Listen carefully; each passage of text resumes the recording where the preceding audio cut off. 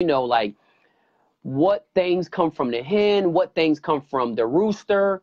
You know, um, why do you know why do some roosters produce better than their brothers? Why do some hens produce better than their brothers? And he gave a very very good scientific explanation of how they can go into the genes and they can see exactly who's going to produce what because it almost comes down to the fact that you know chickens are just just like humans. You know we they have their own dna and and, and none of them are exactly the same but he kind of tells of how you can try to get the uh, preferred um, qualities that you're looking for you know how you breed to get those qualities. And, and a lot of successful breeders already already been doing this.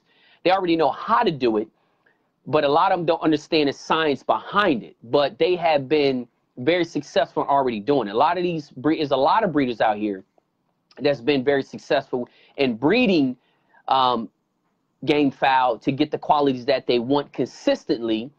But he's going to give us the explanation of why they're able to do that. And sometimes we're we're doing things we don't know why why it's working. We just know it's working, and then we can just keep repeating the process.